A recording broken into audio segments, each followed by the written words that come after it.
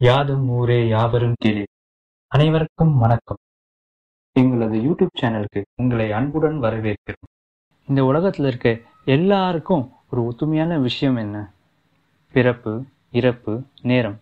ஆமாங்க இவங்க எல்லாத்துக்கும் பார்த்தீங்கன்னா ஒரே மாதிரியான நேரம் தான் இவங்க பெரிய பணக்காரனாக இருக்கலாம் பெரிய அறிவாளிங்களாக இருக்கலாம் சயின்டிஸ்டாக இருக்கலாம் பெரிய பொலிட்டிஷியனாக இருக்கலாம் இல்லை நம்ம நெய்பராக கூட இருக்கலாம் ஒரு பெரிய ஸ்டார் ஒரு நார்மல் ஃபேமிலி மேன் இவங்க எல்லாத்துக்கும் இருபத்தி நாலு மணி நேரம் தான் இந்த இருபத்தி நாலு மணி நேரத்தை எப்படி அவங்க கரெக்டாக யூஸ் பண்ணுறாங்களோ அதை பொறுத்து தான் அவங்க லைஃப்பில் எப்படி இருக்கிறாங்க எப்படி இருப்பாங்கங்கிறது தெரியும்.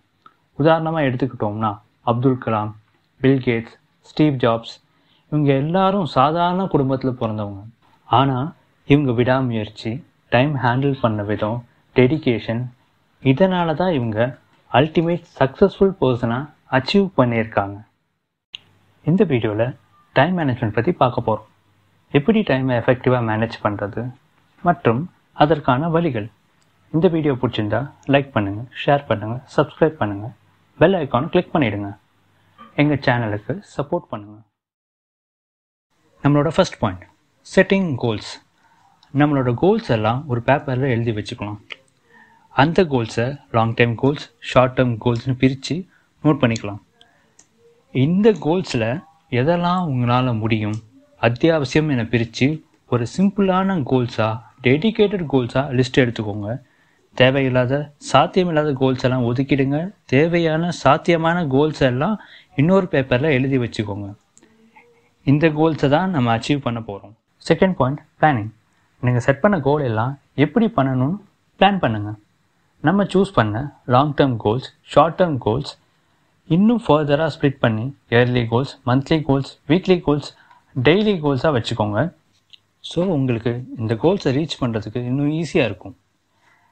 நீங்கள் டெய்லி டாஸ்க்கை ஒரு நாள் முன்னாடி பிளான் பண்ணுங்கள் அதே மாதிரி வீக்லி டாஸ்க்கை வீக்கெண்ட்ஸ்லேயும் maybe Saturday and Sunday and monthly டாஸ்க்கை மந்த் எண்டும் பிளான் பண்ணிங்கன்னா இன்னும் ஈஸியாக இருக்கும். ஒரு விஷயத்தை பிளான் பண்ணி பண்ணும்போது அது நம்மளோட ஆள் மனசில் ஆழமாக பதிஞ்சிடும் ஸோ எப்படியாவது நம்ம பண்ணணும்னு தோணும். அதுவும் இல்லாமல் எந்த ஒர்க்கு முக்கியமோ அதை ப்ரையாரிட்டைஸ் பண்ணி பண்ணலாம். தேர்ட் பாயிண்ட் ஷெடியூலிங் எந்த டாஸ்க்குமே நீங்கள் டைம் ஷெடியூல் பண்ணி பண்ணிங்கன்னா அந்த டாஸ்க்கை அச்சீவ் பண்ண உங்களுக்கு ஈஸியாக இருக்கும். எந்த ஒர்க் முக்கியமானதோ அதுக்கேற்ற மாதிரி டைம் ஷெடியூல் பண்ணி அந்த டைமில் செஞ்சிங்கன்னா உங்களுக்கு இன்னும் அதிகமான டைமும் கிடைக்கும் ஒர்க்கை ஈஸியாகவும் பண்ணலாம். ஒர்க்குக்கு ஒரு டைமிங் அப்போ ஹெல்த்துக்கு ஒரு டைமிங் ஃபேமிலிக்கு ஒரு டைமிங் ஷெடியூல் பண்ணும்போது நீங்கள் எவ்வளோ டைம் ஸ்பெண்ட் பண்ணுறீங்க? நீங்கள் பிளான் பண்ணலாம் அதுக்கேற்ற மாதிரி அசைன் பண்ணிக்கலாம் அனலைஸ் பண்ணிக்கலாம். எக்ஸ்ட்ரா டைமும் இருக்கும். ஃபோர்த்து பாயிண்ட் டெட்லைன் உங்கள் சாத்தியமான டாஸ்க்கு டெட்லைன் வச்சுக்கோங்க. ஸோ இந்த டைம்குள்ளே முடிப்போன்னு ஒரு டேட்டு டைம் ஃபிக்ஸ் பண்ணும்போது அந்த டாஸ்க் உங்களால் கரெக்டாக அச்சீவ் பண்ணலாம். அதுக்கான நேரமும் உங்கள் கையில் இருக்கும். Point five avoid wasting time உங்களோட நேரத்தை வேஸ்ட் பண்ணாதீங்க. உதாரணமாக நமக்கு போர் அடிக்கும்போது நம்ம ஒரு மூவி இல்லை கேம்ஸ் இல்லை சோஷியல் மீடியா பார்ப்போம். ஆனால் அது ஒரு எல்லைக்குள்ளே இருக்கும்போது ஓகே எல்லையை மீறும்போது. அதாவது சில நேரம் நம்ம எஃபி இன்ஸ்டா கேம்ஸில் ஒரு நாள் முழுசாக கூட பார்த்து டைம் வேஸ்ட் பண்ணுவோம். டெய்லி ஒரு மூவி பார்த்து இல்லை சீரீஸ் பார்த்து டைம் வேஸ்ட் பண்ணுவோம். அப்படி பண்ணாமல் நம்ம டாஸ்க்கை ஸ்மால் ஸ்மாலாக ஸ்ப்ளிட் பண்ணி ஒர்க் பண்ணும்போது போர் அடிக்காமலேயும் இருக்கும். ஒர்க்கில் கான்சன்ட்ரேட் பண்ண மாதிரியும் இருக்கும். பாயிண்ட் சிக்ஸ் ஸ்ட்ரெஸ் ரிலீஃப் இவ்வளோ ப்ராப்பராக ஒர்க் பண்ணும்போது ஸ்ட்ரெஸ் வராமல் பார்த்துக்கணும் ஏன்னா ஸ்ட்ரெஸ் வந்துச்சுன்னா நம்மளால் ஒர்க் பண்ண முடியாமல் போகும். அதுவும் இல்லாமல் ஸ்ட்ரெஸ்னால் டைம் வேஸ்ட் ஆகிடும் அதனால் நம்ம மைண்டை எப்போயுமே ஸ்ட்ரெஸ் ஃப்ரீயாக வச்சுக்கணும். அதுக்கு அது ரொம்ப ரொம்ப முக்கியம். அதுக்காக அடிக்கடி ஸ்மால் ரெஸ்ட் எடுக்கலாம் எக்ஸசைஸ் பண்ணலாம் மெடிடேட் பண்ணலாம் உங்கள் ஹாபி இல்லை மியூசிக் ஏதாச்சும் கூட கேட்கலாம். இதை நீங்கள் சின்ன சின்ன பிரே பிரேக்காக ஸ்ப்ளிட் பண்ணி ஒரு டாஸ்க் முடிஞ்சதுக்கப்புறம் வச்சுக்கலாம். இல்லை ஒரு டைம் அலாட் பண்ணி நீங்கள் ஸ்ட்ரெஸ் ஃப்ரீ ஆக்டிவிட்டீஸை நீங்கள் பிளான் பண்ணலாம் point seven avoid multitasking டைமை எஃபிஷியண்ட்டாக யூஸ் பண்ணணும்னா நம்ம எப்பயுமே ஒரு டாஸ்க்கை ஒரு டைமில் ஃபோக்கஸ் பண்ணணும். நீங்கள் நிறையா டாஸ்க்கை ஒர்க் பண்ணுனா அந்த டாஸ்க்கோட குவாலிட்டி ஃபஸ்ட்டு இருக்காது. நிறையா ஃபோக்கஸ் பண்ணுனா ஒர்க் ஃபினிஷ் பண்ண முடியாமல் கஷ்டமாக இருக்கும். ஸோ எப்பயுமே ஒரு டாஸ்க்கை ஃபோக்கஸ் பண்ணி செய் செயல்படுங்க.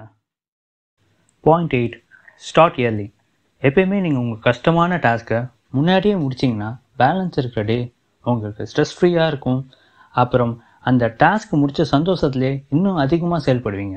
ஸோ உங்கள் டஸ்கமான டாஸ்க்கெல்லாம் ரொம்ப முன்னாடியே ஃபஸ்ட்டு முடிக்க பிளான் பண்ணிக்கோங்க. Point nine take regular break அடிக்கடி ஒரு ஷார்ட் பிரேக் இல்லை ஒரு டாஸ்க் அப்புறம் ஒரு பிரேக் எடுத்திங்கன்னா உங்களால் நல்லா எஃபெக்டிவாக ஒர்க் பண்ண முடியும்.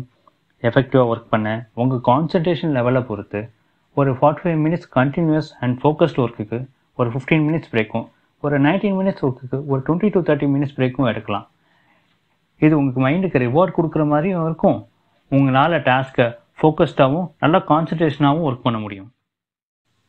Point ten learn to say no நிறைய ப்ராப்ளம் நமக்கு வருவதுக்கு முக்கியமான காரணம் நம்ம நிறைய விஷயத்துக்கு சரின்னு சொல்கிறனால தான். நம்ம டைமை ஷெடியூல் பண்ணிக்கு ஏற்ற மாதிரி பிளான் பண்ணி நம்மளோட சரி இல்லைன்னு டிசைன் பண்ணணும். நம்ம அதிகமான விஷயத்துக்கு நோ சொல்லும்போது சரின்னு தேர்வு செஞ்ச ஒர்க் பண்ண ஈஸியாக இருக்கும் ஃபோக்கஸும் பண்ண முடியும். நம்ம சரின்னு எப்போவுமே பிளான் பண்ணி ஷெடியூல் பண்ணிவிட்டு அப்புறம் சொன்னோம்னா நம்ம லிஸ்ட்டில் கம்மியான ஒர்க் இருக்கும்.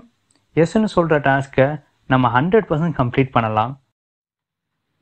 இந்த டென் பாயிண்ட்ஸை ஒரு எக்ஸாம்பிள் வச்சு எலாபரேட் பண்ணுறேன் நான் ஒரு பெரிய புக் படிக்கலான்னு கோல் செட் பண்ணுறேன் இது ஒரு சாத்தியமான கோல் ஸோ இதை லாங் டைம் கோலில் செட் பண்ணுறேன் இந்த கோலை இயர்லி மந்த்லி வீக்லி டெய்லி கோலாக ஸ்ப்ளிட் பண்ணுறேன் மந்த்லி ஒரு eight to ten percent book complete பண்ணலான்ட்டு வீக்லி ஒரு சாப்டர் இல்லை alternate days or daily twenty five percent of one சாப்டரை complete பண்ணலான்னு பிளான் பண்ணுறேன் இந்த டாஸ்க்கை ஆல்டர்னேட் டேஸ் நைட்டு தூங்குறதுக்கு முன்னாடி ஒன் ஹவர் அதாவது எயிட் டு நைன் பிஎம் இந்த புக்கை படிக்கலான்னு பிளான் பண்ணுறேன் ஷெடியூல் பண்ணுறேன் இந்த சா இந்த புக்கை இந்த சாப்டரை இந்த டேட்டில் கம்ப்ளீட் பண்ணணும்னு டெட்லைன் ஃபிக்ஸ் பண்ணுறேன் so next chapter next alternate date இல்லைனா அடுத்த டேட் டெட்லைன் ஃபிக்ஸ் பண்ணி இந்த டெட்லைனுக்கு ஏற்ற மாதிரி இந்த சாப்டர்ஸை கம்ப்ளீட் பண்ணுறேன் ஸோ இந்த புக்கு படிக்கும்போது எந்த டிஸ்டர்பன்ஸும் இல்லாமல் டைம் வேஸ்ட் பண்ணாமல் புக்கு மேலே மட்டும் தான் கான்சன்ட்ரேட் பண்ணுறேன்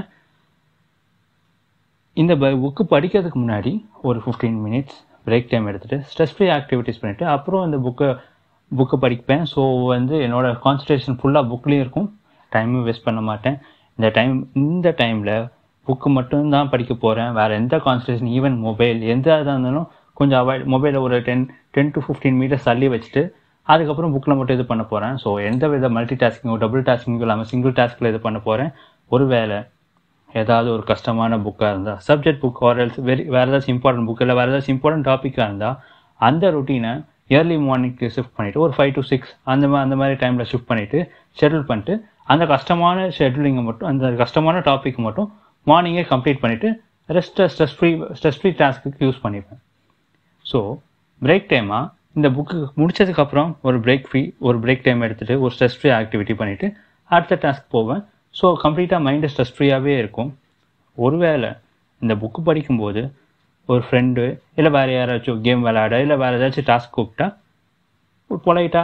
இல்லை இப்போ என்னால் முடியாது ஒர்க் இருக்குது தலை வலிக்குதுன்னு ஒரு சாக்கு கூட சொல்லிவிட்டு அதாவது நோ சொல்லிவிட்டு நம்ம நம்ம ஒர்க்கில் கான்சன்ட்ரேட் பண்ணுறோம் நம்ம ஒரு ப்ரியாரிட்டி ஒர்க்கை லேட் ஆகாமல் கம்ப்ளீட் பண்ண இந்த பாயிண்ட்ஸை உங்கள் டே டு டே லைஃப்பில் ப்ராக்டிஸ் பண்ணி பாருங்கள் கமெண்ட் செக்ஷனில் நெக்ஸ்ட் வீடியோவுக்கு சஜஷன்ஸ் பண்ணுங்கள் எங்கள் யூடியூப் சேனலுக்கு சப்போர்ட் பண்ணுங்கள் நன்றி வணக்கம்.